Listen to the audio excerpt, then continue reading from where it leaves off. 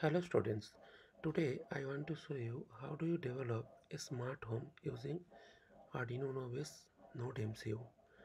So students, this is Node MCU and we will blink a red LED using the smartphone. There is a there is a uh, the LED is connected to the pin number T1 of the Node MCU and smartphone apps is developed by Blynk software. Blynk is a very good software through which you can control your home devices. So students you can see when i touch the off on button then a little glow and when i off touch it is off.